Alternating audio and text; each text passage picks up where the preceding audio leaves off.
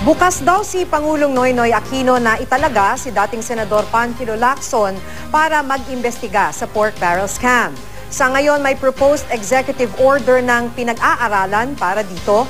Hinihintay pa raw ng Pangulo ang resulta nito. Nagpapatuloy pa rin naman daw ang interagency investigation sa issue.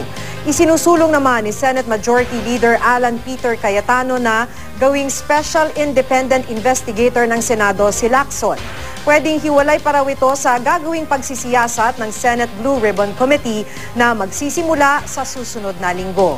Pero ayon kay Blue Ribbon Committee Chairman Senador T.G. Gingona, hindi na kailangan ng special investigator. Sa isang text message, nagpasalamat si Lacson sa tiwala pero hindi niya direktang sinabing tatanggapin niya ang posisyon. Patuloy naman ang pagtugis kay Janet Lim Napoles na itinuturong utak ng 10 bilyong pisong pork barrel scam.